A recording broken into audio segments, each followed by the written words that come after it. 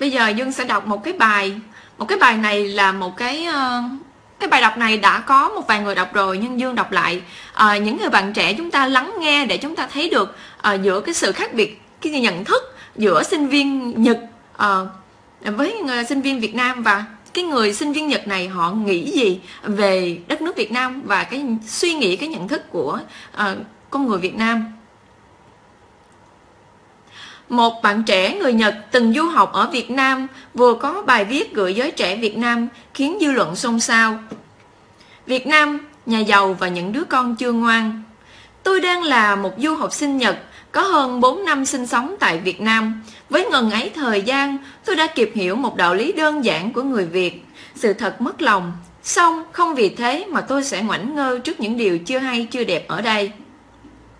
Hy vọng những gì mình viết ra không gì ngoài sự thật, như một ly cà phê ngon tặng cho mảnh đất này, tuy đắng nhưng sẽ giúp người ta thoát khỏi cơn ngủ gục.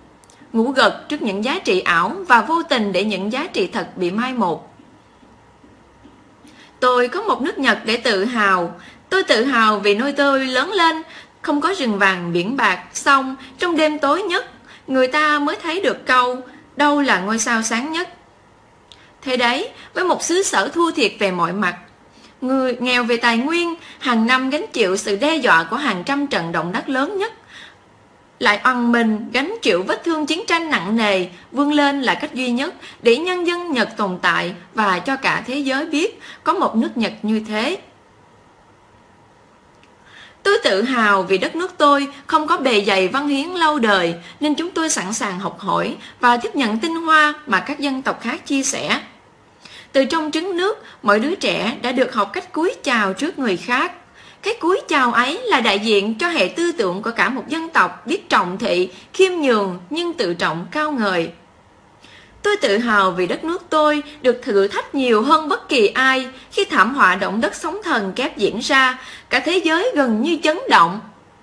Chấn động vì giữa hoang tàn đổ nát, đối khổ và biệt lập, người ta chỉ nhìn thấy từng dòng người kiên nhẫn xếp hàng nhận cứu trợ và cúi đầu từ tốn cảm ơn. Không có cảnh hôi của, lên giá, cướp bóc, bạo lực nào diễn ra giữa sự cùng khổ. Chỉ chưa đầy một năm, sau khi hàng loạt thành phố bị xóa sổ hoàn toàn, sự sống lại bắt đầu hồi sinh như chưa từng có biến cố nào đã xảy ra. Thế đấy, không có những thành tích to lớn để nói về nước Nhật, nhưng thương hiệu Nhật Made in Japan là thương hiệu uy tín vượt trên mọi khuôn khổ. Tiêu chuẩn khắc khe, được toàn cầu tôn trọng nhất mà tôi từng biết. Bạn cũng có một nước Việt để tự hào, nói Việt Nam là một nhà giàu, quả không ngoa. Giàu tài nguyên, giàu truyền thống, giàu văn hóa, nhưng con cháu của nhà giàu sẽ phải đối mặt với những vấn đề nan giải của nhà giàu và không phải ai cũng biết cách sống có trách nhiệm trong sự giàu có ấy. Thật đáng tự hào, nếu bạn được lớn lên ở một đất nước được thiên nhiên ưu đãi với rừng vàng biển bạc. Đáng xấu hổ, nếu xem đó là khoản thừa kế kết xù không bao giờ cạn. Thực tiết đó lại là những gì tôi thấy. Tại các thành phố, chỉ cần nhà mình sạch sẽ là được Ngoài phạm vi ngôi nhà bẩn đến đâu không ai quan tâm. Ở các nhà máy nếu không biết dồn rác thải ở đâu Họ sẽ cho chúng ra ngoài đường, sông suối, biển cả Vì đó là tài sản quốc gia. Đã có quốc gia lo, không phải việc của mỗi người dân. Tại một đất nước mà 80% dân số sống bằng nghề nông Đất đai, nước ngầm hầu như đã bị nhiễm độc. Đến nỗi người ta nói vui trong năm nữa thôi Sẽ là thời đại của ung thư Vì ăn gì cũng độc không ít thì nhiều, không thể khác, vì sao nên nổi. Thật đáng tự hào vì Việt Nam có 4.000 năm văn hiến.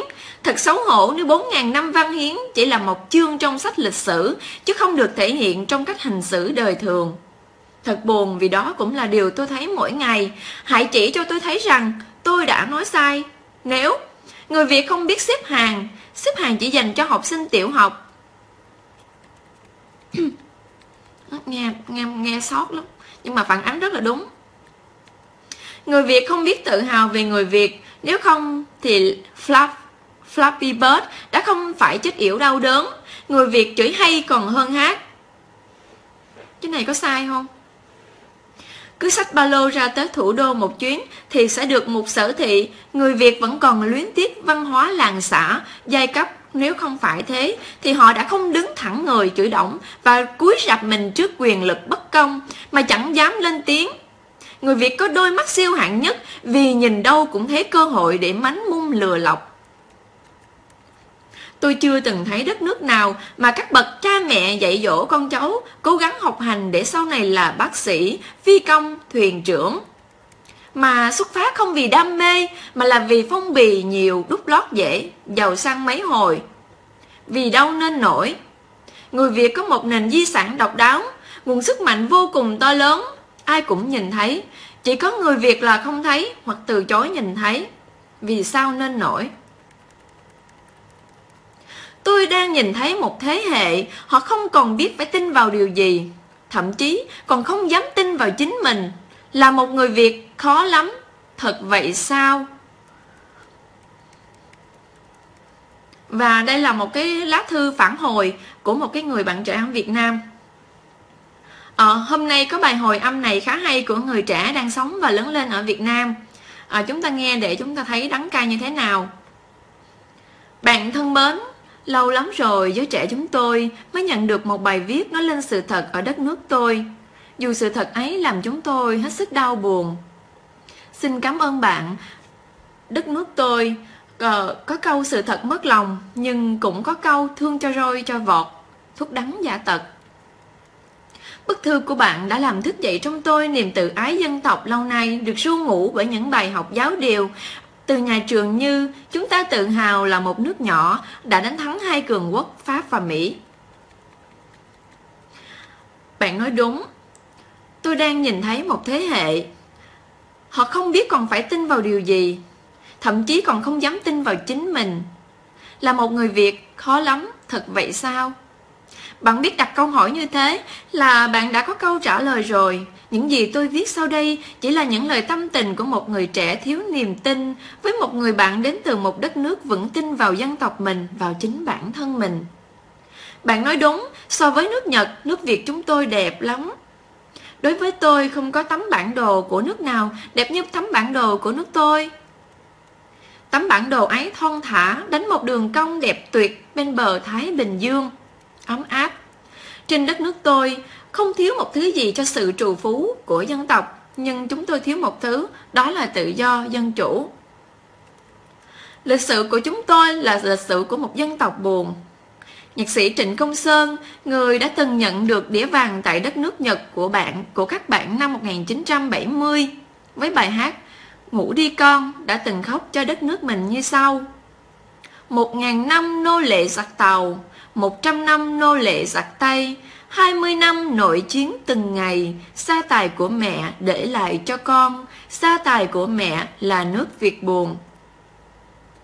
Nhạc sĩ Trịnh Công Sơn trong 20 năm nội chiến từng ngày, ông sống tại miền Nam Việt Nam, nên nỗi đau của ông còn nhẹ hơn nỗi đau của người miền Bắc chúng tôi.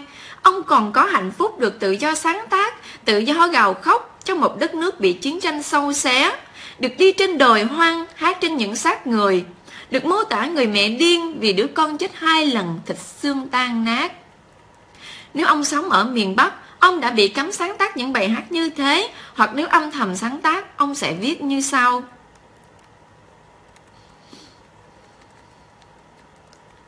Một ngàn năm nô lệ giặc tàu, một trăm năm nô lệ giặc Tây, bảy mươi năm cộng sản, cộng sản đọa đầy, sa tài của mẹ để lại cho con, sa tài của mẹ là nước Việt buồn. Một ngàn năm nô lệ giặc tàu, một trăm năm nô lệ giặc Tây, hai mươi năm nổi chiến từng ngày, gia tài của mẹ để lại cho con, gia tài của mẹ là nước Việt buồn. Bị đô hộ bởi một nước tàu tự coi mình là bá chủ ở phương Bắc, bị 100 năm pháp thuộc, một ít thời gian không bị ngoại bang đô hộ, chúng tôi không có minh quân như Minh Trị Thiên Hoàng ở nước bạn, huống gì thay vào đó, chúng tôi bị cái xui là một trong những nước hiếm hoi, bị thống trị bởi một chế độ bị coi là quái vật của thế kỷ. Tại sao người Việt Nam tham vặt? Vì họ đã từng đói kinh khủng trong cuộc chiến tranh chống Mỹ, chống Pháp, người dân miền Bắc chúng tôi đã đói đến độ mất cả tình người. Vì một ký đường, một cái lốp xe đạp Vài lặng thịt người ta tố cáo nhau Chơi xấu nhau dù trước đó Họ là người trí thức Cho nên ăn cắp là chuyện bình thường Tôi cũng xin nhắc cho bạn, năm 1945, hàng triệu người Việt miền Bắc đã chết đói vì một cái lý do có liên quan đến người Nhật các bạn đấy. Tất nhiên người Việt vẫn nhớ câu, nghèo cho sạch, rách cho thơm, nhưng thượng bất chính, hạ tắc loạn. Khi chấm dứt chiến tranh, người Việt biết họ phải tự cứu đói mình chứ không ai khác. Kẻ có quyền hành tranh giành nhau rừng vàng biển bạc, kẻ nghèo sống lại hôi của những xe chở hàng bị lật nhào. Thật là nhục nhã, thật là đau lòng. Bạn bảo rằng bạn ở ở nước bạn người dân giữ gìn vệ sinh công cộng rất tốt, còn ở Việt Nam cái gì dơ bẩn đem đổ ra đường.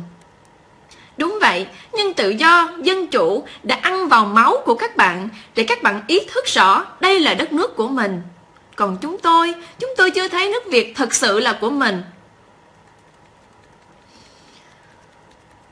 Ngày trước, nước Việt Nam là của vua, có khi nước Việt Nam thuộc Tàu, rồi nước Việt Nam thuộc Pháp, rồi nước Việt Nam là của đảng Cộng sản. Ruộng của cha ông để lại đã từng trở thành của hợp tác xã, rồi ruộng là của nhà nước, chỉ cho dân mượn trong một thời gian nhất định. Đất là của nhà nước, nếu bị quy hoạch, người dân phải lìa bỏ ngôi nhà bao năm yêu dấu của mình để ra đi. Cái gì không phải là của mình thì người dân không cảm thấy cần phải gìn giữ. Nhưng sự mất mát đau lòng nhất trên đất nước chúng tôi là mất văn hóa, không còn nhuệ khí. Biết làm sao được khi chúng tôi được dạy để trở thành công cụ, chứ không được dạy để trở thành người. Bức xúc quá. Tiếc thay, bản chất thông minh còn sót lại đã cho chúng tôi nhận ra chúng tôi đang bị dối gạt, nhất là trong những giờ học về lịch sử văn chương.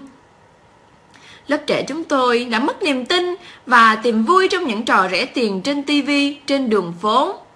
Nhớ năm nào của nước, nhớ năm nào nước của bạn cất công đem hoa anh đào qua Hà Nội cho người Hà Nội chúng tôi thưởng ngoạn và thanh niên Hà Nội đã nhào vô chụp giật, bẻ nát cả hoa lẫn cành. Chà đạp lên chính một nơi gọi là ngàn năm thăng long văn hiến. Nhục thật bạn ạ à, nhưng lớp trẻ chúng tôi hầu như đang lạc lối.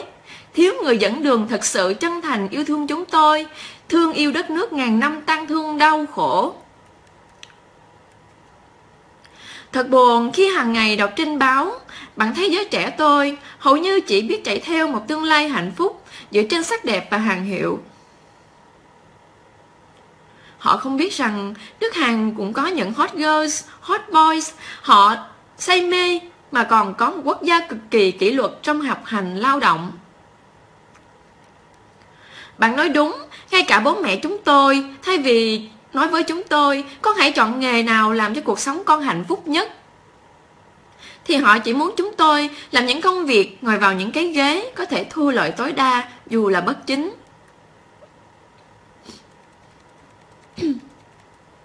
Chính cha mẹ đã chi tiền để con mình được làm tiếp viên hàng không, nhân viên hải quan, công an giao thông với hy vọng tiền thu được dù bất minh sẽ nhiều hơn bội phần. Một số người trẻ đã quên rằng cạnh các ca sĩ cặp với đại gia có nhà trăm tỷ, đi xe 10 tỷ, còn có bà mẹ, cột hai con cùng nhảy sông tự tử vì nghèo đói. Mới đây, mẹ 44 tuổi. Và con 24 tuổi cùng nhảy cầu tự tử.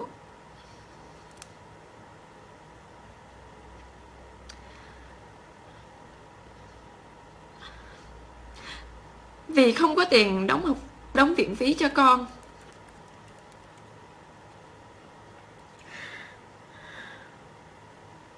Và ngày càng có nhiều bà mẹ tự sát vì cùng quẩn sau khi đất nước Thái Bình gần 40 năm.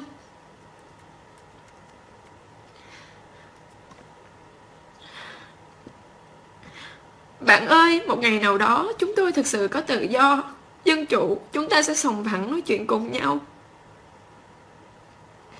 Còn bây giờ thì trải qua một cuộc bể dâu, những điều trông thấy mà đau đớn lòng.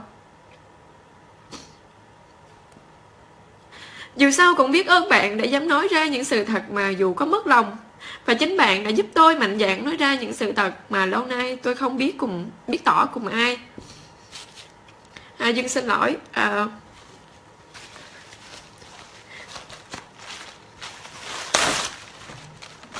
Dương xin lỗi anh chị.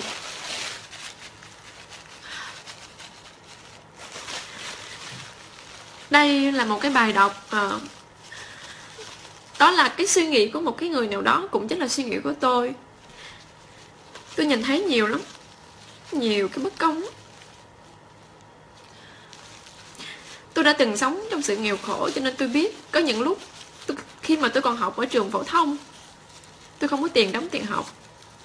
Cái áp lực từ nhà trường kinh khủng lắm. Vào những cái cuối cuối cuối tuần có những buổi tổng kết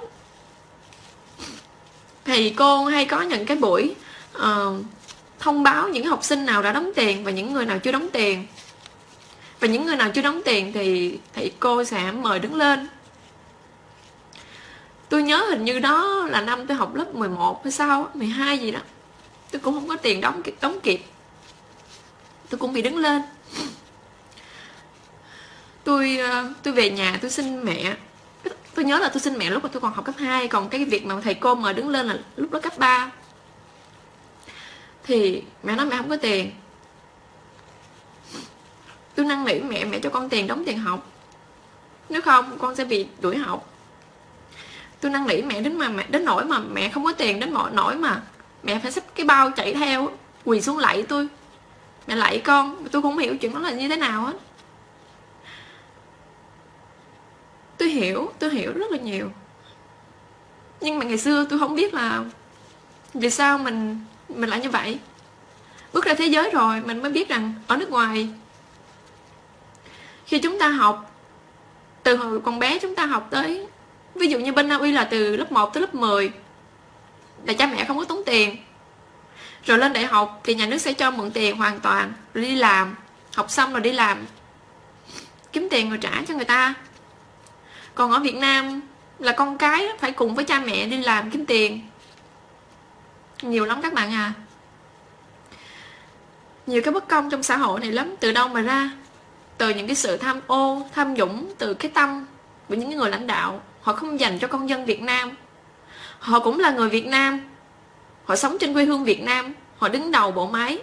Họ nắm trong tay quyền hạnh nhưng họ làm những cái vị đó, những cái việc đó, họ đứng trên những cái cương vị đó. Họ không nhìn xuống người dân Việt Nam, mà họ chỉ nhìn vô cái túi của họ họ nhìn vô cái túi của người khác.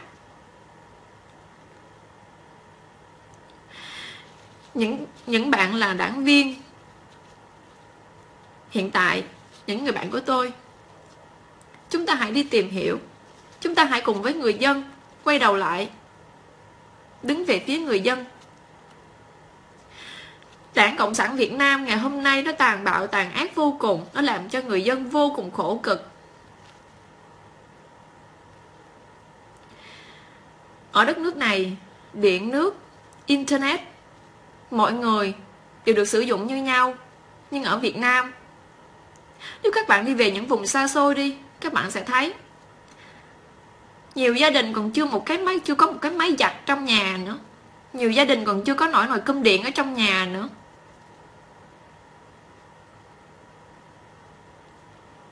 Ngày hôm qua tôi nói về cái chuyện một giờ ở người ở Việt Nam làm 25.000 đồng. Có những người comment nói với tôi là Ở bên bên đó làm Có có có nhiều nơi làm có 10.000 đồng một tiếng hả? à. 10.000 đồng nó trong khi xăng bây giờ là 18.500 đồng một lít. Rồi đám cưới, đám hội, đám dỗ, đám quải Tôi nói người ở Việt Nam á Tiệc tùng liên miên. Mà tiệc bây giờ nó đâu có ít tiền đâu. 200 ngàn là ít lắm rồi. Đi vô nhà hàng tệ lắm phải 500 ngàn. Mà một tháng mà chừng bốn cái đám như vậy thôi là hết 2 triệu rồi. Làm sao mà đủ sống? Trong khi chi phí điện đóm này kia nọ Cái gì nó cũng tăng hết mà lương không tăng. Các bạn biết vì sao như vậy không? Tại vì những người ăn trên ngồi tróc Họ vơ vét Họ đưa giá mọi thứ lên cao. Rồi các bạn cứ, cứ cam chịu để họ càng giàu các bạn càng nghèo vì sao tôi phải lên đây tôi làm như vậy? Ở Việt Nam nhìn về mọi khía cạnh, mọi góc độ, nó không giống ai hết trơn nó đi ngược lại với thế giới hết luôn. Và những người bạn trẻ của tôi, hãy tự đặt cho mình những cái câu hỏi. Vì sao con cái của những người lãnh đạo sang nước ngoài học? Họ cho con cái của họ đi ra nước ngoài học mà họ không để con cái của họ học ở trong nước. Cái môi trường đó chính họ tạo nên mà. Sao không để con cái họ ở trong nước để khám bệnh, những cái bệnh viện hiện tại? Cũng chính do họ tạo nên mà. Tại sao họ đưa con cái họ ra nước ngoài? Các bạn biết nước mỹ là một cái nước hiện đại vô cùng, văn minh vô cùng. Tại sao họ đưa con cái sang đó hết vậy? Mà trong lịch sử lại đang nói là đánh cho mỹ cúc ngụy nhào nếu mà nói về cái vấn đề này, có phải cái tầm nhìn của họ đã sai từ năm 1975 họ đã sai rồi không? Họ không có tầm nhìn xa. Nếu họ nói là đánh cho mỹ cút, vậy thì tại sao ngày hôm nay họ mang con cái của họ sang mỹ ở? Con cái họ sống ở nước ngoài và bây giờ họ đã chuẩn bị để cho một cái cuộc trốn chạy. Những người dân Việt Nam chúng ta tin. Tôi biết ở trong Việt Nam êm đềm lắm các bạn không biết gì, các bạn không thấy gì cả. Im điềm vô cùng, không có biến động gì. Các bạn cam chịu đi làm, nhưng ở bên ngoài đây chúng tôi nhìn về, chúng tôi thấy hết các bạn à. Những giọt nước mắt tôi rơi. Không phải là tôi mít ướt nhưng mà tôi nhìn, đó là một cái màu mặt cái mảng tối ở Việt Nam. Các bạn không thấy, nhưng tôi thấy rất là rõ. Tôi thấy rất là rõ tôi chịu không nổi. Vì chẳng lẽ ngày nào tôi lên đây tôi cũng nói tôi phê phán về tình hình xã hội Việt Nam hiện tại. Nhưng mà nhiều người còn chưa hiểu, nhiều người còn chưa biết. Vậy làm sao chúng ta đồng lòng? Vậy nếu như có một cái cuộc biểu tình, có một cái cuộc nổi dậy, các bạn có dám đứng lên không? Các bạn có dám hòa vào hay không?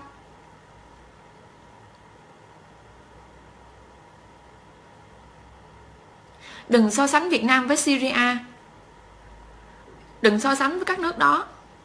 Tại vì Việt Nam đã từng trở thành hòn ngọc viễn đông. Hãy đi ngược lại thời gian. Trước năm 1975 hãy đi tìm hiểu về ông Ngô Đình Diệm. Tôi biết, ông Ngô Đình Diệm trong sách lịch sử Việt Nam, họ đã bôi nhọ hình ảnh của ông, nhưng các bạn có biết ông là một cái người tốt, một cái người tổng thống, một cái người thủ tướng tốt của Việt Nam thời đó khi mà ở miền Bắc, đang chống chọi với luật cải cách ruộng đất, người thân đấu tố lẫn nhau. Để tồn tại, thì ở trong đây miền Nam, dưới thời đệ nhất Cộng Hòa, thời của ông Diệm, đời sống của người dân rất là tốt. Tiếp theo đó là đệ nhị Cộng Hòa, Ngô Nguyễn Văn Thiệu. Nhưng mà sau này họ viết gì? Họ viết sai hết. Người dân miền Nam Việt Nam sau năm 1975 rơi vào nạn đói kinh khủng. Nhưng hãy quay ngược lại xem, trước năm 1975 họ đâu có bị đói. Một người làm nuôi nổi 8 người. Nhưng mà bây giờ, nhiều khi 5 người làm nuôi còn chưa nổi một người nữa. Nhiều khi một bản thân mình làm mình còn chưa nuôi nổi mình nữa.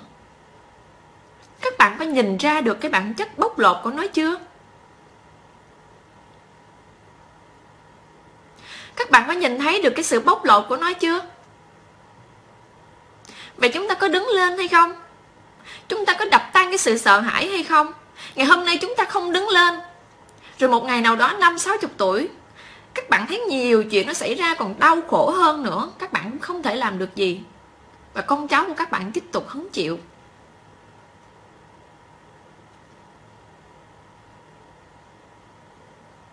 Có nhiều người nói, sao tôi buồn quá vậy?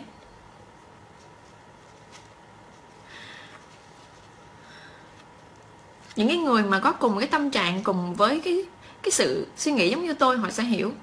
Tại vì bây giờ nhìn về Việt Nam, không biết nói gì hết á.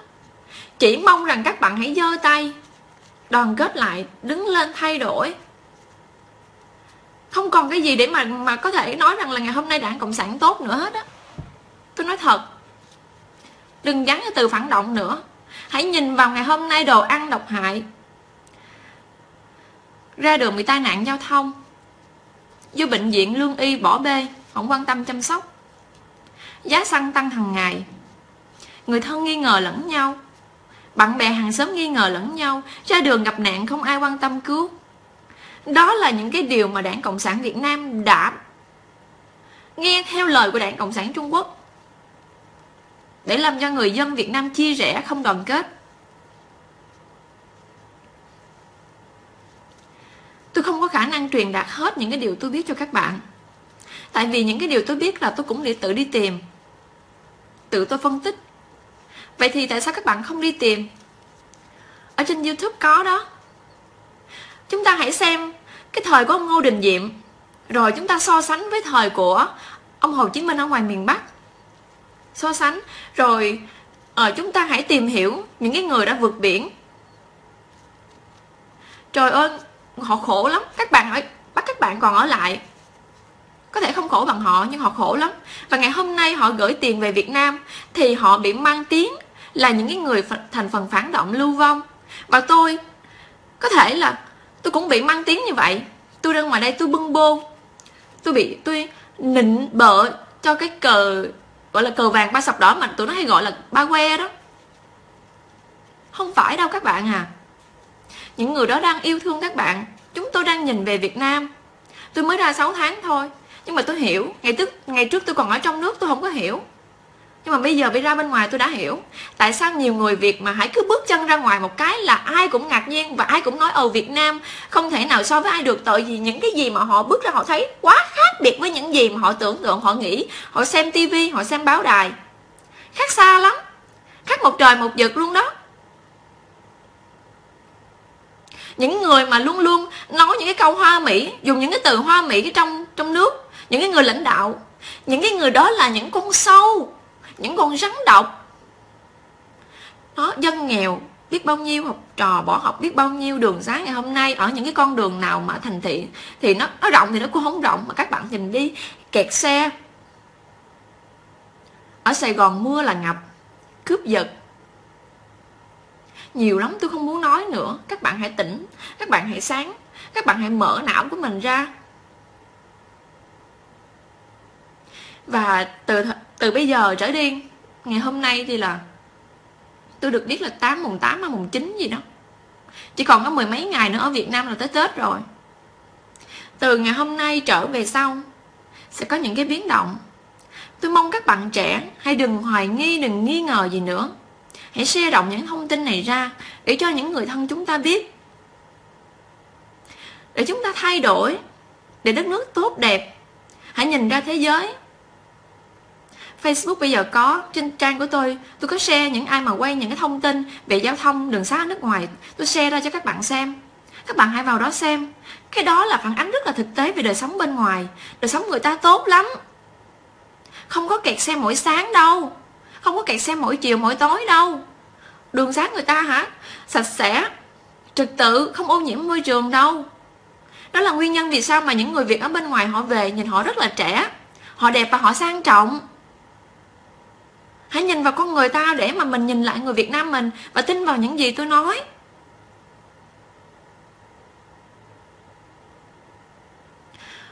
Tôi gần như, từ khi mà tôi làm những cái video clip này cái việc học tiếng Na Uy của tôi tôi bỏ qua một bên luôn. Còn ngày trước tôi còn học, bây giờ thì không. Và hầu như trong giấc ngủ của tôi tôi phải suy nghĩ rằng là ngày hôm sau tôi phải làm gì? Tôi phải nói cái gì? Tôi phải cung cấp những cái thông tin gì? Để làm gì? Tôi mong một ngày tôi và nhiều người ở bên ngoài trở về trong cái sự thanh bình, trong cái sự ổn định, trong cái sự tốt đẹp. Tôi không còn thấy người dân nghèo nữa.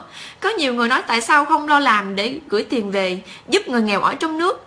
Tôi giúp người nghèo, chúng tôi giúp người nghèo được. Nhưng các bạn có biết không?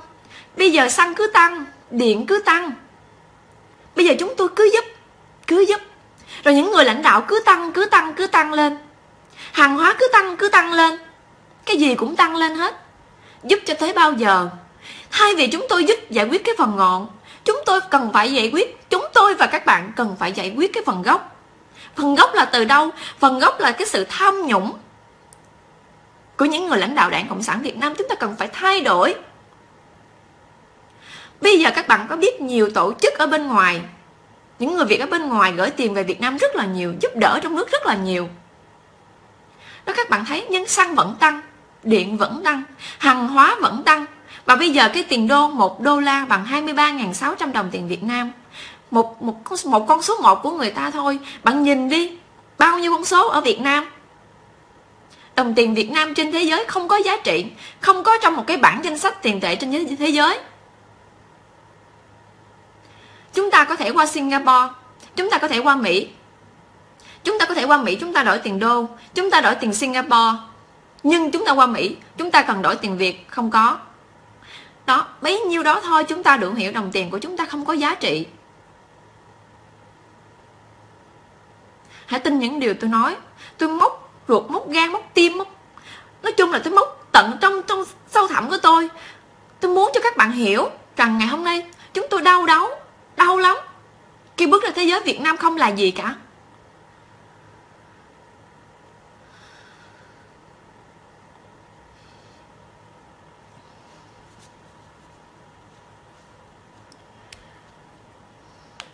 Dương sẽ cố gắng sắp xếp thời gian để cho mỗi ngày Dương sẽ nói chuyện cùng với mọi người nhưng mà nhiều khi có những cái việc đột xuất Dương sẽ không nói chuyện thường xuyên được. Dương là con người của cảm xúc cho nên mà khi à, Dương thấy những cái vấn đề ví giống như hồi nãy Dương hay bị nó tự nhiên nó nó vậy đó. Cho nên là nhiều khi nó làm cho anh chị cũng sẽ cảm thấy khó chịu. À, Dương sẽ dừng các bạn nói chuyện ở đây. Và những người bạn trẻ chúng ta hãy tin đi những cái điều Dương mong muốn. Và cũng giống như nhiều người ở bên ngoài mong muốn là Việt Nam tốt đẹp. Họ đau lắm thực sự, cái tâm của họ tốt lắm. Đừng có nghĩ rằng ngày hôm nay là họ bên ngoài là họ phản động lưu vong. Không có đâu. Họ yêu quê hương Việt Nam vô cùng. Chỉ có những người lãnh đạo đảng Cộng sản Việt Nam. Ngày hôm nay bằng mọi cách họ tẩu tán tài sản và họ chuẩn bị con đường để họ trốn chạy đó. Nhưng mà những người Việt ở bên ngoài họ luôn nhìn về Việt Nam. Hãy tin tôi.